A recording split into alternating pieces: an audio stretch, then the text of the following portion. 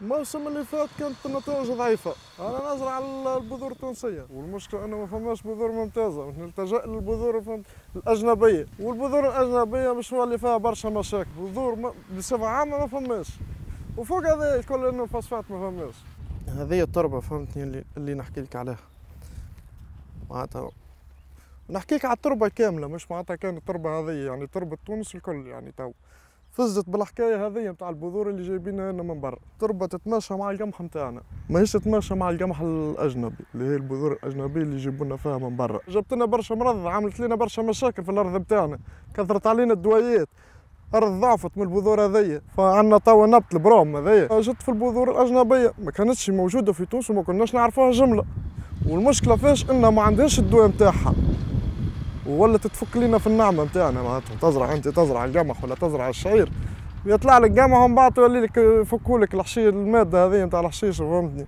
تتفك لك الصابه نتاعك وما تلم منها حتى شيء. يعني تصرف تصرف تصرف تصرف. فلوسك تبقى في التراب هكاك ما تلم منها حتى شيء. يعني أنا حابسين نحضروا في الأرض توا نهار اللي ما نزرعوش. تولي مجاعة كبيرة اللي هو إحنا نمشوا في الأمن الغذائي فهمتني للدولة.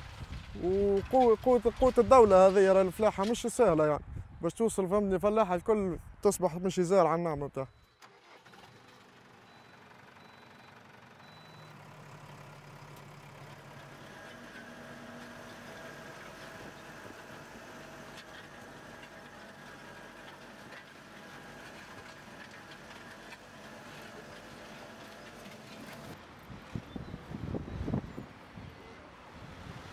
البلاد اللي قاعدة تمول في الجمهورية وتمول بالقمح وبالشعير.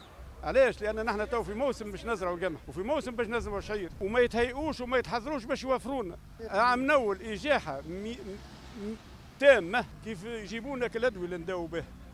أول حاجة السنة مثلا بمليون العام جاي تلقاها بمليون و400 مليون و500 وساعات تجي فازد تهلكنا الواحد ونلفتوا انتباه ونهزوه ونشوفوها ولكن الناس اللي يستوردوا ولا كيفاش يستعملوا حاجات هذوما ما نعرفوهمش يزيدوا يجيبوها مرة أخرى وتضر فينا إذا كان جتنا النعمه معناها إذا كان توفرت حاجة وجدت شوية نعمة ندوها تفسد. ما جابولناش البذور اللي حاجتنا بها نحن.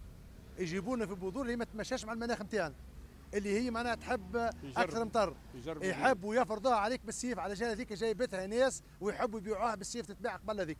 تجيني في وقت في وقت الذروة اللي باش نزرع قمحاتي اللي نعيش منهم هذاك. كيما الشهريه نتاعك تقول لي ما ثماش DAP. هذا منطقة. وأقوى سلاح في العالم هو الخبز راه. ما تنساش اللي هو الخبز اللي يجي يص... اللي هو ينتج فيه الفلاح.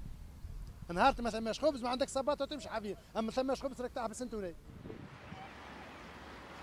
الصعوبات اللي دفعتنا للاعتصام هي شنو؟ عدم توفر مستلزمات الإنتاج. إحنا كي نشوفوا ال DAP تو يتباع ب 80 وصل حتى ل 100 دينار النهارين اللي فاتوا تشوف القمح سناب قداش تباع الفلاحة وصلت لبيعه القمح نتاعها ب 60 و64 دينار. اليوم الكونتار DAP بحق كونتارين قمح بحق كونتار ونص قمح راهو الحقيقة هذايا مش يدفعنا باش نتخلاو على موضوع الزراعات الكبرى عدم تفعيل صندوق الجوائح الطبيعية عدم توفر بذور النوعية الخاصة اللي يمكن تتماشى مع ولاية سليانة عدم توفر الأسمدة الحقيقة لهنا تساؤل كبير.